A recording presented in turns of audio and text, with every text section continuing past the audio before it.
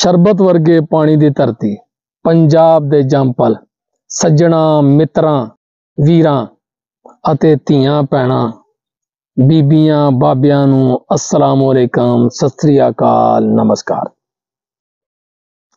ਅੱਛਾ, ਇੱਥੇ ਇੱਕ ਗੱਲ ਮੈਂ ਤੁਹਾਨੂੰ ਦੱਸਾਂ ਕਿ ਮੈਂ ਅਕਸਰ ਸਟਾਰ ਲੈਣਾ ਹੁੰਨਾ ਲਫ਼ਜ਼ ਸੋਹਣਿਓ ਤੋਂ। ਯਾਨੀ ਕਿ ਉਹ ਮੈਂ ਕਿਸੇ ਨੂੰ ਸੋਹਣਾ ਕਹਿ ਦਿੰਨਾ, ਸੋਹਣਿਓ ਕਹਿ ਦਿੰਨਾ, ਹਾਂਜੀ? ਤੇ ਇਸੇ ਤਰ੍ਹਾਂ ਹੀ, ਜਿਸ ਮਹਾਨ ਹਸਤੀ ਯਾਨੀ ਕਿ ਕਲਾਕਾਰ ਸ਼੍ਰੀ ਅਮਰ ਸਿੰਘ ਚਮਕੀਲਾ ਜੀ ਹੋਰਾਂ ਦੇ ਅਸੀਂ ਉੱਤੇ ਜਿਹੜੀ ਗੱਲਬਾਤ ਕਰਨ ਜਾ ਰਹੇ ਹਾਂ ਨਾ ਉਹ ਬੰਦਾ ਅਜਿਹਾ ਸੀ ਕਿ ਜਿਵੇਂ ਮੈਂ ਸੋਹਣਿਓ ਲਫ਼ਜ਼ ਇੱਕ ਵਰਤਣਾ ਇਸੇ ਤਰ੍ਹਾਂ ਹੀ ਉਹ ਬੰਦਿਆਂ ਵਾਸਤੇ ਵੀਰ ਵੀਰੋ ਵੀਰਾਂ ਆਮ ਲਫ਼ਜ਼ ਇਹੋ ਵਰਤਦੇ ਸੀ ਤੇ ਧੀਆਂ ਭੈਣਾਂ ਵਾਸਤੇ ਐਸੇ ਤਰ੍ਹਾਂ ਧੀਆਂ ਭੈਣਾਂ ਹੀ ਕਹਿੰਦੇ ਸਨ ਅੱਜ ਅਸੀਂ ਉਸੇ ਮਹਾਨ ਹਸਤੀ ਦੇ ਉੱਤੇ ਉਸ ਗੋਈਏ ਦੇ ਉੱਤੇ ਗੱਲਬਾਤ ਵੇਰਵੇ ਦੇ ਨਾਲ ਕਰਨ ਜਾ ਰਹੇ ਹਾਂ। ਹਰ ਪੱਖੋਂ ਉਹਨਾਂ ਦੇ ਉੱਤੇ ਗੱਲ ਹੋਏਗੀ। ਕੋਈ ਅੰਗ ਅਸੀਂ ਛੱਡਾਂਗੇ ਨਹੀਂ। ਲਓ ਫਿਰ ਉਮੀਦ ਕਰਾਂਗੇ ਕਿ ਤੁਸੀਂ ਜੁੜ ਕੇ ਪੂਰੀ ਗੱਲਬਾਤ ਸੁਣੋਗੇ। ਚੈਨਲ ਤੇ ਨਵੇਂ ਹੋ, ਸਬਸਕ੍ਰਾਈਬ ਨਹੀਂ ਕੀਤਾ ਤੇ ਕਰ ਲਓ ਵੇਖੋ ਪੰਜਾਬ ਨੂੰ ਤਾਂ ਕਿ ਇਸ ਤਰ੍ਹਾਂ ਦੀਆਂ ਕਹਾਣੀਆਂ, ਲੁਕੀਆਂ ਜਿਹੜੀਆਂ ਨੇ ਅਸੀਂ ਤੁਹਾਡੇ ਸਾਹਮਣੇ ਲਿਆਉਂਦੇ ਰਹੀਏ। ਕਿਉਂਕਿ ਇਹ ਟੌਪਿਕ ਅੱਜਕੱਲ ਬਹੁਤ ਵਾਇਰਲ ਹੈ। ਟ੍ਰੈਂਡਿੰਗ ਵਿੱਚ, ਫਿਰ ਇਹਦੇ ਉੱਤੇ ਅਮਰ ਸਿੰਘ ਚਮਕੀਲਾ ਜੀ ਹੋਰਾਂ ਦੇ ਉੱਤੇ, ਉਹਨਾਂ ਦੀ ਜ਼ਿੰਦਗੀ ਦੇ ਉੱਤੇ ਇੱਕ ਫਿਲਮ ਆਈ ਹੈ ਜਿਹੜੀ ਬਹੁਤ ਖੂਬਸੂਰਤ ਮੂਵੀ ਹੈ ਲੇਕਿਨ ਫਿਲਮਾਂ ਵਿੱਚ ਉਹ ਹਰ ਅੰਗ ਜਿਹੜਾ ਨਾ, ਉਹ ਪੇਸ਼ ਨਹੀਂ ਕੀਤਾ ਜਾ ਸਕਦਾ। ਪਰ ਸੋਹਣਿਓ ਅਸੀਂ ਹਰ ਚੀਜ਼ ਵੇਰਵੇ ਦੇ ਨਾਲ ਡਿਟੇਲ ਦੇ ਨਾਲ ਅੱਜ ਅਸੀਂ ਅਮਰ ਸਿੰਘ ਚਮਕੀਲਾ ਜੀ ਹੋਰਾਂ ਦੇ ਬਾਰੇ, ਉਹਨਾਂ ਦੀ ਵਾਈਫ ਦੇ ਬਾਰੇ, ਫਿਰ ਉਹਨਾਂ ਦੇ ਨਾਲ ਜੁੜੀ ਹਰ ਸ਼ੈ ਜਿਹੜੀ, ਹਰ ਚੀਜ਼ ਤੁਹਾਡੇ ਸਾਹਮਣੇ ਇਸ ਤਰ੍ਹਾਂ ਖਿਲਾਰ ਦੇਵਾਂਗੇ ਕਿ ਤੁਹਾਨੂੰ ਹਰ ਸ਼ੈ ਦਾ ਜਿਹੜਾ ਨਾ ਬਖੂਬੀ ਅੰਦਾਜ਼ਾ ਹੋ ਜਾਏਗਾ ਤੇ ਪਤਾ ਲੱਗ ਜਾਏਗਾ।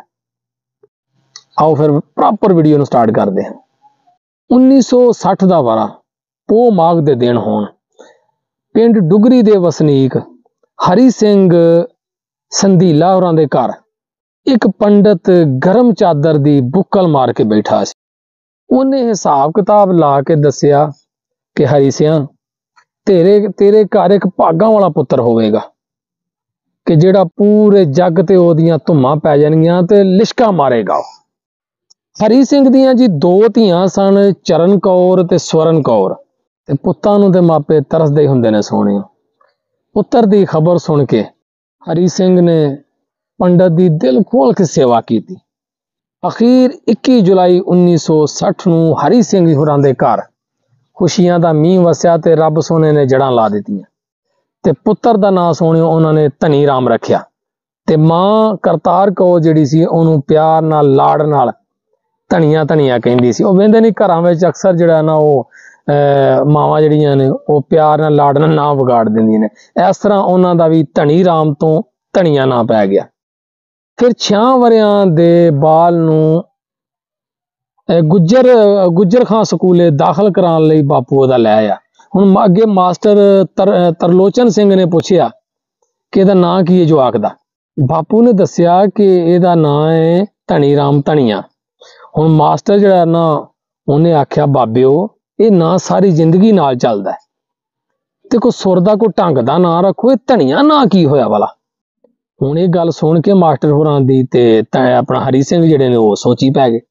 ਹੁਣ ਉਹਨਾਂ ਸਮਿਆਂ ਵਿੱਚ ਸੋਹਣਿਓ ਪਿੰਡਾਂ ਵਿੱਚ ਲੋਕਾਂ ਦੇ ਮਨੋਰੰਜਨ ਵਾਸਤੇ ਰਾਗੀ, ਢੱਡ ਤੇ ਸਰੰਗੀਆਂ ਵਜਾ ਕੇ ਵਾਰਾਂ ਗਾਉਂਦੇ ਹੁੰਦੇ ਸੀ ਤੇ ਉਹਨਾਂ ਨੂੰ ਢਾਡੀ ਕਹਿੰਦੇ ਸਨ।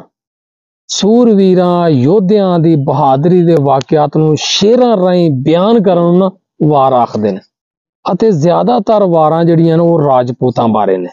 ਜੈਮਲ ਚੰਦ, ਫਤਿਹ ਚੰਦ ਦੀ ਅਕਬਰ ਬਾਦਸ਼ਾਹ ਨਾਲ ਜੰਗ ਇਹ ਢਾਡੀਆਂ ਦਾ ਮਨਪਸੰਦ ਵਿਸ਼ਾ ਹੁੰਦਾ ਸੀ। ਅਤੇ ਫਿਰ ਜੈਮਲ ਫਤਿਹ ਤੋਂ ਵੱਖ ਹਸਨੇ ਮੇਮਨੇ ਦੀ ਵਾਰ, ਫਿਰ ਰਾਣਾ ਕਲਾਸ਼ ਤੇ ਰਾਣਾ ਮਾਲਦੇਵ ਦੀ ਵਾਰ, ਫਿਰ ਚੰਡੀ ਦੀ ਵਾਰ, ਫਿਰ ਦੁੱਲੇ ਪੱਟੀ ਦੀ ਵਾਰ, ਇਹ ਬਹੁਤ ਮਸ਼ਹੂਰ ਵਾਰਾਂ ਸਨ।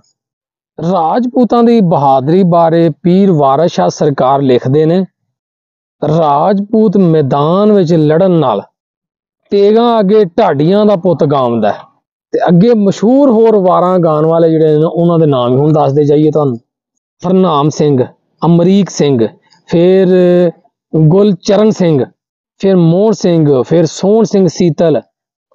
ਕਾਦੀਵਿੰਡ ਕਸੂਰ ਦੇ ਸੋਹਣ ਸਿੰਘ ਸੀਤਲ ਦੀਆਂ ਲਿਖੀਆਂ ਕੀਮਾ ਮਲਕੀ ਦੀਆਂ ਕਲੀਆਂ। ਮੁਹੰਮਦ ਸਦੀਕ ਤੇ ਰਣਜੀਤ ਕੌਰ ਨੇ ਬੜੇ ਸੁਚੱਜੇ ਢੰਗ ਨਾਲ ਗਾਈਆਂ। ਜਲੰਧਰ ਦਾ ਉਤਾਰ ਸਿੰਘ ਹੂਰਾ, ਫਿਰ ਸਦਾਗਰ ਸਿੰਘ ਬੇਪਰਵਾ ਫਿਰ ਸਰੋਣ ਸਿੰਘ, ਫਿਰ ਸੁਰਜੀਤ ਸਿੰਘ ਬੇਦੀ, ਫਿਰ ਪਿੰਡ ਮੁੱਲਾਪੁਰ, ਲੁਧਿਆਣੇ ਦਾ ਕਰਤਾਰ ਸਿੰਘ ਕਿਰਤੀ, ਫਿਰ ਜਲੰਧਰ ਦਾ ਦੀਦਾਰ ਸਿੰਘ ਰਟੰਡਾ, ਫਿਰ ਦੀਦਾਰ ਸਿੰਘ ਦਿਲਬਰ, ਇੰਦਰਜੀਤ ਸਿੰਘ ਅਣਖੀ, ਫਿਰ ਨਰੈਣ ਸਿੰਘ ਚੰਦਨ, ਫਿਰ ਰਾਮ ਸਿੰਘ ਛਾਬੇਵਾਲਾ, ਫਿਰ ਰਣਜੀਤ ਸਿੰਘ ਸਿੱਧੂ, ਫਿਰ ਗੁਲਾਬ ਸਿੰਘ ਦਿਲਬਰ ਫਿਰ ਚਰਨ ਸਿੰਘ ਆਲਮਗੀਰ, ਫਿਰ ਸੰਤੂ ਖਰਾੜ ਵਾਲਾ, ਫਿਰ ਮੰਦੂ ਬਛਵਾਣੇ ਵਾਲਾ, ਫਿਰ ਨਗੀਨਾ ਮੀਰ ਆਲਮ ਤੇ ਅਮਰ ਸਿੰਘ ਸ਼ੌਂਕੀ ਬਹੁਤ ਮਸ਼ਹੂਰ ਹੋਏ।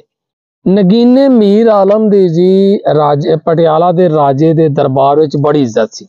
ਇਥੋਂ ਤੱਕ ਕਿ ਮਹਾਰਾਜੇ ਵੱਲੋਂ ਦਰਬਾਰ ਵਿੱਚ ਨਾ ਉਹਦੇ ਆਉਣ ਪਾਰੋਂ ਉਹਦੀ ਰਸਦ ਵੱਜੀ ਹੋਈ ਸੀ, ਯਾਨੀ ਕਿ ਉਹਦੀ ਤਨਖਾਹ ਪੱਕੀ ਲੱਗੀ ਸੀ। ਫਿਰ ਬਠਿੰਡੇ ਵਿੱਚ ਨਗੀਨੇ ਮਰਾਸੀ ਦਾ ਖੂਹ ਵੀ ਬੜਾ ਮਸ਼ਹੂਰ ਸੀ। ਖਾੜਾ ਲਵਾਉਣ ਵਾਲੇ ਉਹਨੂੰ ਸੋਨਾ ਦੇ, ਸੋਨੇ ਦੇ ਕੰਗਣਾਂ ਦੀ ਜੋੜੀ ਸਾਈ ਵਜੋਂ ਦਿੰਦੇ ਹੁੰਦੇ ਸਨ। ਤੇ ਨਗੀਨਾ ਮੀਰ ਆਲਮ ਜਿਹੜਾ ਸੀ, ਉਹ ਪਾਕਿਸਤਾਨ ਦੇ ਸ਼ਹਿਰ ਲੋਧਰਾ ਵਿੱਚ 1952 ਨੂੰ ਫੋਤ ਹੋਇਆ ਸੀ। ਇਹ ਰਾਜ਼ ਦੀਆਂ ਗੱਲਾਂ ਮੈਂ ਕਿੰਨੂੰ ਕਿੰਨੂੰ ਦੱਸਾਂ। ਵੈਸੇ ਗੱਲ ਤੇ ਹਰੀ ਸਿੰਘ ਜੀ ਹੋਰਾਂ ਤੋਂ ਸ਼ੁਰੂ ਹੋਈ ਸੀ। ਇਹਨਾਂ ਮਹਾਨ ਹਸਤੀਆਂ ਬਾਰੇ ਅਜੋਕੀ ਪੀੜ੍ਹੀ ਨੂੰ ਕੌਣ ਦੱਸੇਗਾ? ਇਹ ਇਸ ਕੰਗ ਦੇ ਗਾਉਣ ਵਾਂਗੂ। ਤੇਰੇ ਬਾਜੋ ਕੌਣ ਦੱਸੇਗਾ ਕਿ ਹੇਕ ਕਿੰਜ ਲਾਈ ਦੀ? ਅਲੜਾ ਨੂੰ ਦੱਸ ਜਾਂ ਤਮਾਲ ਕਿੰਜ ਪਾਈ ਦੀ? ਅਮਰ ਸਿੰਘ ਸ਼ੌਂਕੀ ਜੀ ਪੂਰਨ ਭਗਤ ਜਿਹੜਾ ਨਾ ਬੜਾ ਵਧ- ਬੜੀ ਵਧੀਆ ਗਾਉਂਦਾ ਸੀ।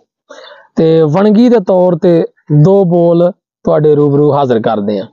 ਪੂਰਨਾ, ਅੱਖੀਆਂ ਦੇ ਵਸ ਸਾਹਮਣੇ, ਜਾਵੀਂ ਦੂਰ ਨਾ ਸੁੰਦਰਾਂ ਨੇ ਜੱਗ ਦਾ ਪਿਆਰ ਛੱਡ ਕੇ ਪਾਈਆਂ ਮੁੰਦਰਾਂ। ਹਰੀ ਸਿੰਘ ਵੀ ਗੀਤ ਸੰਗੀਤ ਦਾ ਬੜਾ ਸ਼ੌਂਕੀ ਸੀ ਤੇ ਉਹ ਅਮਰ ਸਿੰਘ ਸ਼ੌਂਕੀ ਦਾ ਕੋਈ ਅਖਾੜਾ ਵੀ ਨਹੀਂ ਸੀ ਛੱਡਦਾ ਹੁੰਦਾ। ਤੇ ਕਦੀ ਕਦੀ ਉਹਦੇ ਮਨ ਵਿੱਚ ਇਹ ਖਿਆਲ ਜ਼ਰੂਰ ਆਉਂਦਾ ਹੁੰਦਾ ਸੀ ਕਿ ਰੱਬ ਨੇ ਮੈਨੂੰ ਪੁੱਤ ਦਿੱਤਾ ਤੇ ਉਹਦਾ ਨਾਮ ਮੈਂ ਅਮਰ ਸਿੰਘ ਰੱਖੂੰਗਾ। ਉਹਨੇ ਮਾਸਟਰ ਤਰਲੋਚਨ ਸਿੰਘ ਨੂੰ ਆਖਿਆ, ਮੋਤੀਆਂ ਵਾਲਿਓ ਇਹਦਾ ਨਾਮ ਅਮਰ ਸਿੰਘ ਸੰਧੀਲ ਸੰਧੀਲਾ ਰੱਖ ਲਓ ਕਿਉਂਕਿ ਉਹਨਾਂ ਦੀ ਗੋਤ ਜਿਹੜੀ ਹੈ ਨਾ ਉਹ ਸੰਧੀਲਾ ਸੀ। ਤੇ ਕਾਗਜ਼ਾਂ ਪੱਤਰਾਂ ਵਿੱਚ ਤੇ ਉਹਨਾਂ ਦਾ ਨਾਂ ਜਿਹੜਾ ਨਾ ਉਹ ਅਮਰ ਸਿੰਘ ਸੰਧੀਲਾ ਹੀ ਲਿਖਿਆ ਜਾਂਦਾ ਰਿਹਾ।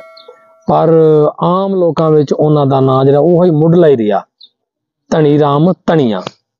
ਸਿਆਣੇ ਕਹਿ ਗਏ ਨੇ, ਸੂਲਾਂ ਜੰਮਦੀਆਂ ਦੇ ਮੂੰਹ ਤਿੱਖੇ। ਇੱਕ ਦਿਨ ਧਨੀਆ ਛੁੱਟੀ ਵੇਲੇ ਨਾ ਕਾਪੀ ਦੇ ਉੱਤੇ ਕੁਝ ਲਿਖ ਰਿਹਾ ਸੀ ਕਿ ਮਾਸਟਰ ਨੇ ਵੇਖ ਲਿਆ ਤੇ ਉਹਨੇ ਆ ਕੇ ਪੁੱਛਿਆ ਕਿ ਧਨੀਏ ਕੀ ਲਿਖ ਰਿਹਾ? ਉਹਨੇ ਜਵਾਬ ਦਿੱਤਾ ਮਾਸਟਰ ਜੀ ਗੀਤ ਲਿਖੇ ਨੇ। ਹੁਣ ਮਾਸਟਰ ਹੋਰੀ ਅੱਗੇ ਵਧੇ ਤੇ ਉਹਨਾਂ ਦੇ ਗੀਤ ਦੀਆਂ ਲੈਣਾ ਪੜ੍ਹ ਕੇ ਨਾ ਬੜੇ ਪ੍ਰਭਾਵਿਤ ਹੋਏ।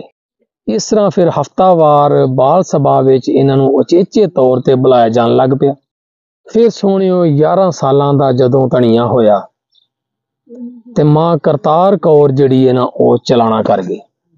ਉਹ ਉਸ ਦਿਨ ਸਕੂਲੇ ਨਾ ਗਿਆ ਤੇ ਫਿਰ ਉਸ ਤੋਂ ਬਾਅਦ ਕਦੀ ਵੀ ਉਹ ਸਕੂਲ ਦੇ ਅੱਗੋਂ ਵੀ ਨਾ ਲੰਘਿਆ। ਯਾਨੀ ਕਿ ਮੁੜ ਕੇ ਦੁਬਾਰਾ ਉਹ ਸਕੂਲੇ ਨਹੀਂ ਗਿਆ ਛੱਡ ਚੜਿਆ ਵੇਲੇ ਦਾ ਪੰਛੀ ਪਰ ਲਾ ਕੇ ਉਡਾਰੀਆਂ ਮਾਰਦਾ ਰਿਹਾ। ਪਿੰਡ ਨੰਗਲ ਖੁਰਦੀ ਗੁਰਮੀਲ ਕੌਰ ਦੇ ਨਾਲ ਇਹਦੀ ਮੰਗਣੀ ਹੋ ਗਈ। 15 ਦਸੰਬਰ 1975 ਨੂੰ ਜੀ, ਟਰੈਕਟਰ ਟਰਾਲੀ ਦੇ ਉੱਤੇ 15-20 ਬੰਦਿਆਂ ਦੀ ਜੰਜ ਗਈ, ਗੁਰਮੇਲ ਕੌਰ ਨੂੰ ਵਿਆਹ ਲਿਆਈ। ਹੁਣ ਗ- ਘਰ ਦੀ ਹਾਲਤ ਜਿਹੜੀ ਉਹ ਪਤਲੀ ਸੀ। ਹੁਣ ਟੱਬਰਦਾਰੀ ਵਧੀ ਤੇ ਖਰਚਾ ਪਾਣੀ ਜਿਹੜਾ ਉਹ ਵੀ ਵੱਧ ਗਿਆ। ਫਿਰ ਰੋਜ਼ੀ ਰੋਟੀ ਦੀ ਖਾਤਰ ਪਿੰਡ 'ਚ ਦਿਹਾੜੀਆਂ ਕੀਤੀਆਂ, ਫਿਰ ਬਿਜਲੀ ਦਾ ਕੰਮ ਸ਼ਾਮ ਵੀ ਸਿੱਖਿਆ। ਇਸ ਤਰ੍ਹਾਂ ਫਿਰ ਕਰਦੇ ਕਰਾਉਂਦੇ ਧਨੀ ਰਾਮ ਧਨੀਆ ਜਿਹੜਾ, ਉਹ ਲੁਧਿਆਣੇ ਸ਼ਹਿਰ ਜਾ ਕੇ ਜਰਾਬਾਂ ਦੀ ਫੈਕਟਰੀ ਵਿੱਚ ਮੁਲਾਜ਼ਮ ਹੋ ਗਿਆ। ਡੁਗਰੀ ਪਿੰਡ ਵਿੱਚ ਦਿਲਜੀਤ ਸਿੰਘ ਧੂੜ ਕੋਟੀਏ ਦੀ ਹੱਟੀ ਸੀ, ਤੇ ਉਹ ਵੀ ਗਾਉਣ ਦਾ ਸ਼ੌਂਕੀ ਸੀ। ਉਹਨੇ ਹੱਟੀ ਵਿੱਚ ਨਾ ਗਵਾਇਆ ਆਪਣਾ ਹਾਰਮੋਨੀਅਮ ਯਾਨੀ ਵਾਜਾ ਵੀ ਰੱਖਿਆ ਹੁੰਦਾ ਸੀ ਤੇ ਉਹ ਵਜਾਉਂਦਾ ਰਹਿੰਦਾ ਹੁੰਦਾ ਸੀ ਤੇ ਕਈ ਗਵਈਏ ਛੋਟੇ ਮੋਟੇ ਉਹਦੇ ਕੋਲ ਆਉਂਦੇ ਜਾਂਦੇ ਰਹਿੰਦੇ ਸਨ ਤੇ ਧਣੀਏ ਦਾ ਬਹੁਤਾ ਵੇਲਾ ਉਹਦੇ ਕੋਲ ਹੀ ਲੰਘਦਾ ਸੀ। ਇਸ ਤਰ੍ਹਾਂ ਫਿਰ ਕਈਆਂ ਗਵਈਆਂ ਦੇ ਨਾਲ ਉਸ ਬੰਦੇ ਦੀ ਜਾਣ ਪਛਾਣ ਹੋਣ ਲੱਗ ਪਈ। ਇਹਨਾਂ ਦੇ ਪਿੰਡ ਵਿੱਚ ਇੱਕ ਡਰਾਮਾ ਹੋਇਆ ਜੀ ਪੂਰਨ ਭਗਤ। ਉਹਦੇ ਵਿੱਚ ਉਹਨਾਂ ਨੇ ਨਾ ਧਣੀ ਰਾਮ ਧਣੀਏ ਨੇ ਯਾਨੀ ਕਿ ਪੂਰਨ ਦਾ ਜਿਹੜਾ ਰੋਲ ਕੀਤਾ।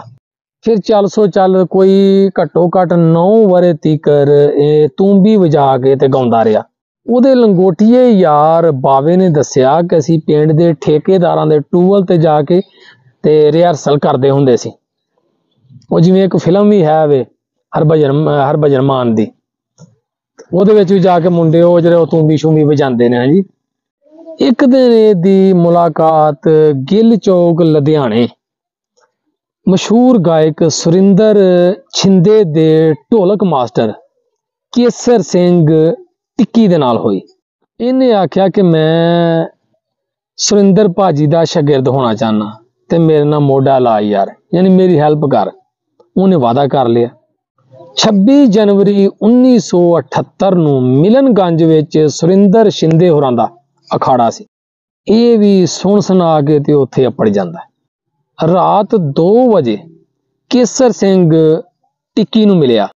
ਉਹਨੇ ਅਗਲੇ ਦਿਨ ਲੁਧਿਆਣੇ ਦੇ ਬੱਸ ਅੱਡੇ ਦੇ ਨੇੜੇ ਪਿਰਥੀ ਚਾਹ ਵਾਲੇ ਦੇ ਕੋਲ ਦਿਨ 12 ਵਜੇ ਆਉਣ ਦਾ ਆਖਿਆ। ਉਹਨਾਂ ਸਮਿਆਂ ਅੰਦਰ ਉਸ ਵੇਲੇ ਦੇ ਮਸ਼ਹੂਰ ਕਲਾਕਾਰਾਂ ਨੇ ਇਸੇ ਬੱਸ ਅੱਡੇ ਦੇ ਲਾਗੇ ਧਿਆਨ ਚੰਦ ਬਿਲਡਿੰਗ ਵਿੱਚ ਸਾਰਿਆਂ ਨੇ ਆਪਣੇ ਦਫ਼ਤਰ ਬਣਾਏ ਹੁੰਦੇ ਸੀ।